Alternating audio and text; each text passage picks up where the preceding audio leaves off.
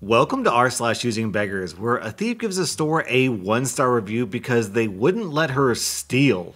Review 1 star. I know this is inappropriate, so feel free to have your own opinion. But the entire staff is always so lazy and unprofessional. Here's the inappropriate part. In a time of desperation, I tried to walk out of the store without paying for my groceries, and the manager himself jumped in front of me as I was leaving and just said, That's a lot of stuff. Come with me and I won't call the police. He checked my ID and took my photo, wrote me a trespass, then still called the police and asked for a citation after I complied with everything. I'm 23, trans, and a college student, and I told him I never do anything like this. He then goes on to accuse me of having stolen from them multiple times and misgenders me to the police officer. I try to correct them, and the officer basically tells me to shut up. Then I was left to explain everything to the police department and now have a court date for no reason. I've been in the system for a year, homeless shelters. I stole from City Market because I'm a vegan, and the public services in Burlington are more like a tradition than an actual resource. I wasn't having my needs met, and I gave him all of this information that he didn't even respect, and still turned me over to the police. He wasted my time and abused his authority. Everyone there must have known what was happening, and they were just going to let me walk out with a backpack full of groceries just to get me in trouble. F City Market. They're pretentious apes. I wonder if this person also leaves a review of the jail cell. Review one star. They wouldn't let me leave. Hey, do you still have that unopened food to give away? Hello, yes, I'm located in blank and I'll be home from work at 5, so you're welcome to pick up anytime after that. You said the food is gluten free, correct? And nothing in your post said I had to pick it up. I was hoping you could use the ingredients and throw something together. I don't have a very big kitchen. I mean, a lot of the food is like ready to eat or super easy to make, so you don't really need a big kitchen. But yeah, a few people have messaged me, so I'm hoping to have someone pick it up by tomorrow. I literally only live 30 minutes away from where you are in blank. I don't have a car. My guest will be here around 6:30 if you can bring it by then. I appreciate it. I don't have an oven. I'll be home at work at 5 until 7, and then I work my other job. Does that window work for you to pick up? I could maybe meet you halfway. I'm not picking up. Did I ever agree to pick it up? I need four meals, gluten free. I don't have a job at the moment and could use any help I can get. Surely you're not cold hearted enough to turn me away. I'm sorry. You want me to turn the ingredients I'm giving away for free into actual meals? I'm sorry I misunderstood. I'm not a cook. Surely you can follow simple instructions on the back of the box. A couple of the items are ready to make, like pasta, but they're not instant meals. I really don't have the time to turn them into meals. I'm sorry. You're still welcome to have the ingredients. I need two separate courses. I need a spread for six people who are gluten sensitive and then a meal prep for about five days. Do you have bento boxes? Your post said you love helping people, so I'm not sure why you're being such a grunt to someone who needs help. Hello? I'm so sorry, but I can't help you. Have a great night.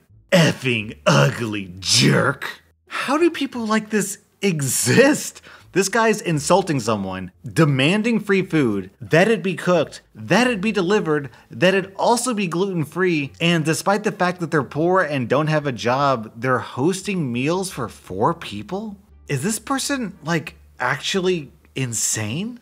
Hey, Blank told me you helped her do her work on effects of exposure to self harm on social media and that you did your essay on an experiment you designed yourself to prove the correlation between self harm posts and suicide on social media. Hey, sorry, but who is this? Yes, I helped her, but the experiment wasn't so much to disprove or prove the correlation. It was an analysis on the matter. Sadly, I don't have the empirical tools yet to prove anything. Okay, I'm blank. I think we had the course of blank together. So, do you still have the stuff from Kate and your experiment? Sorry, I don't remember you. That lecture was huge. I don't have Kate's things, just some notes. Why?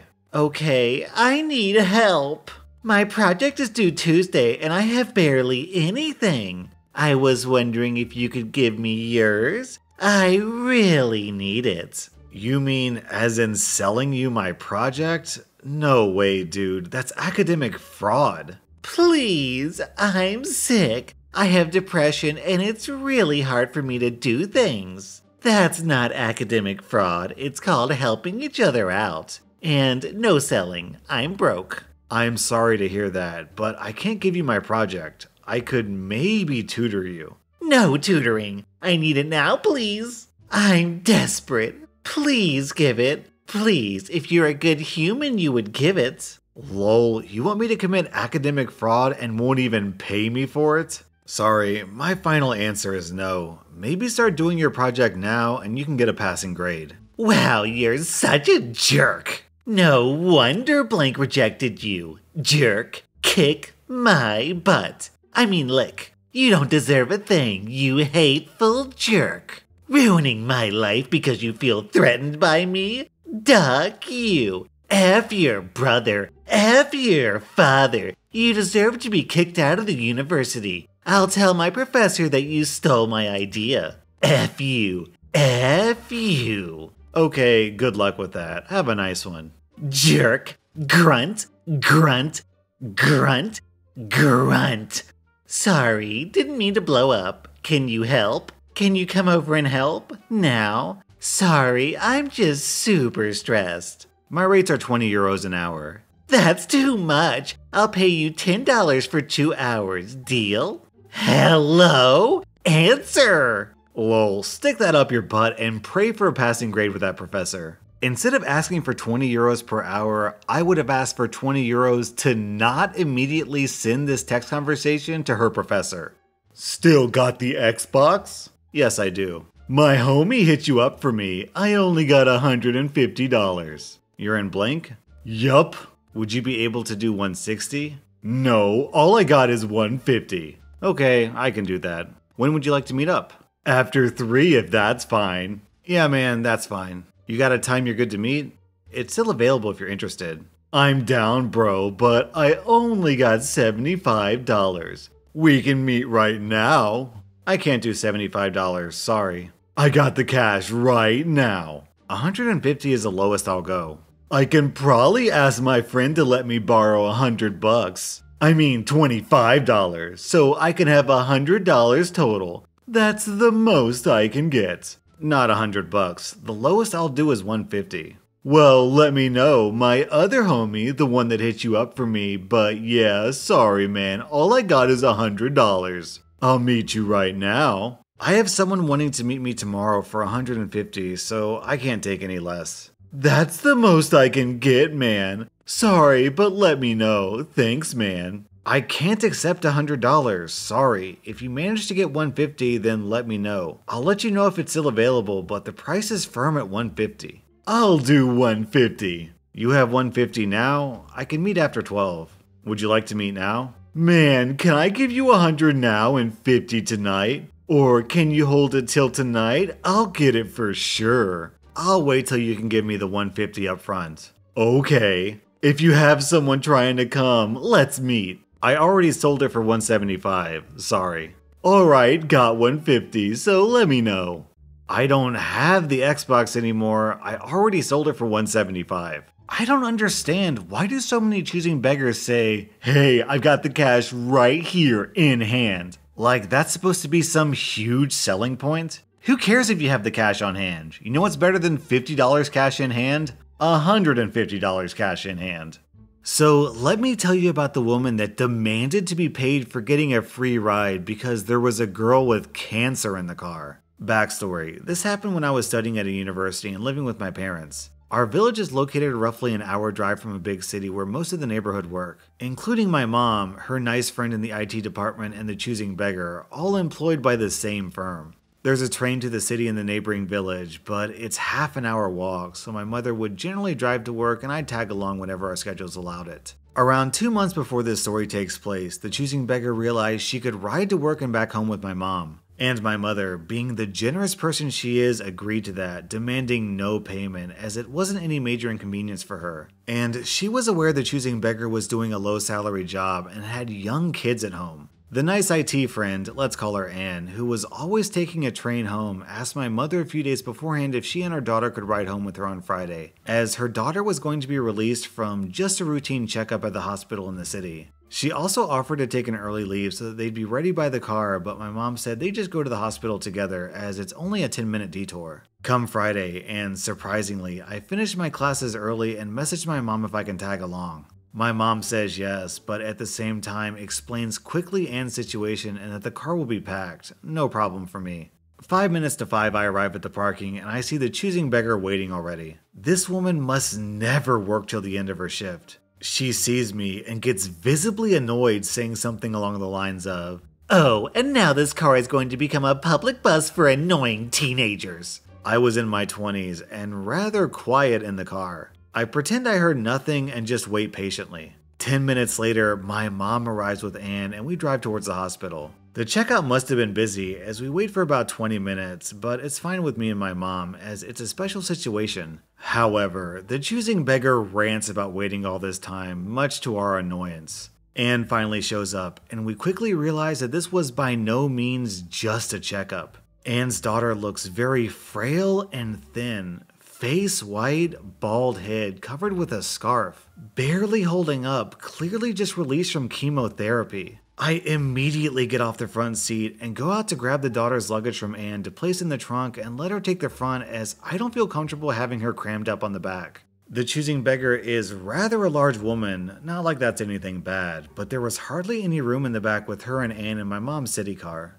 Anne quietly thanks me and we roll back home in relative silence as the daughter fell asleep immediately. We go to Anne's home first, it was on the way, and they start leaving quickly. Anne's daughter throws up the moment she wakes up, getting some puke on the car and quickly starts apologizing. We say we don't mind. And there it starts. Anne takes out her wallet and gets a bill that exchanged for about 60 bucks and insists on paying my mom for both the ride and cleaning the car, which my mom quickly declines. However, at the same moment, the choosing beggar reaches for the money. For a moment, everything is silent and then the conversation goes like this. I'll be taking it, thanks. On what grounds? Well, we had to take this huge detour, and I'll be like 40 minutes late at home. Well, you would be even later had you taken the train. It's none of your concern. I don't take any trains home. I always ride this car, and I'm not just being late. This car has been ruined by Anne's daughter.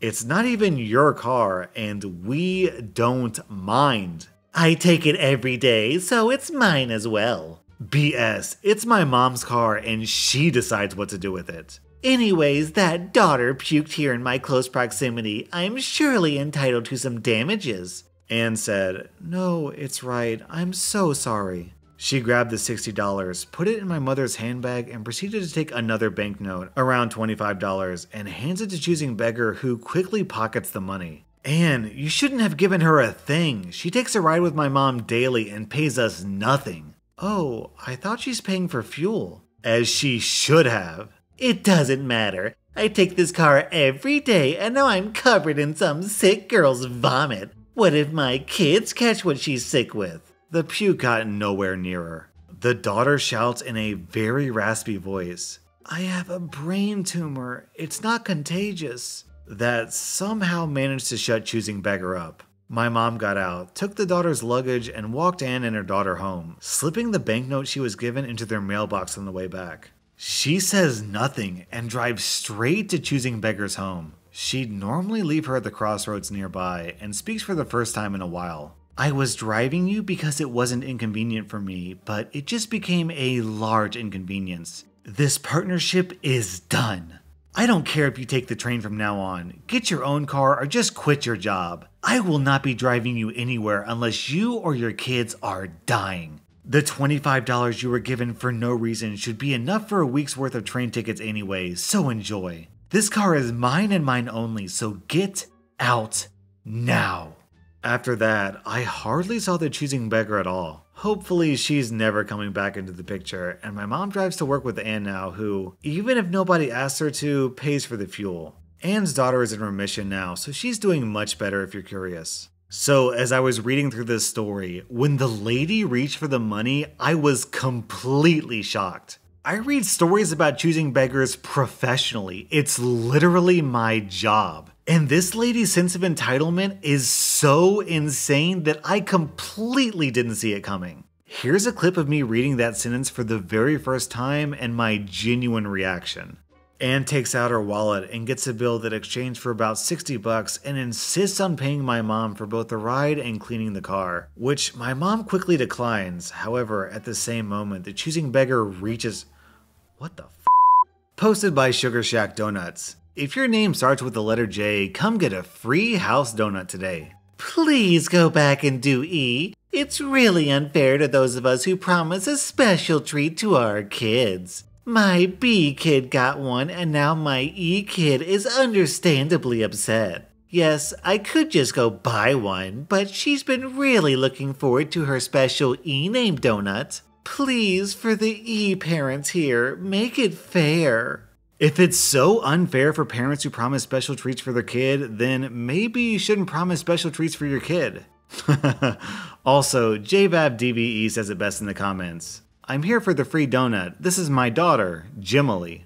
Please read full post before saying you're interested. I'm in search of a third shift babysitter for my five year old son. I live in blank. Interviews will be required. He sleeps pretty well all night. I just need someone there if he wakes up or starts getting sick. I will have a designated area for you to sleep, or you may stay up all night if you want. I go to work at 9:20 p.m. and I'll be home by 7:30 a.m. I do not need a nanny or maid. He will not sleep at your house. I work Sunday night through Thursday night. I never work Friday nights, but sometimes I do work Saturday nights. You'll get paid weekly, and we'll talk about the pay when you message me. If you have any questions or if you're interested, message me. Thanks. Then, this is a reply to that post. I responded to this and she wrote back I'm pretty set on what I'll pay. It's $50 weekly, but if you have to watch them on a Saturday night too, then it'll be $75 a week. Also, this is a 5 to 6 day job, not 3. I responded, That's $1 an hour. Good luck with finding good, safe, and responsible care for your precious child for 50 bucks a week. That's a dollar an hour. I got more than that in 1979 when I was a teenager with no experience. I've said it before and I'll say it again. Anyone willing to watch your child for $1 an hour is not someone you'd want watching your child. Hi, do you still have that dress? Yes. Which one do you want? The blue one or the black one? Both.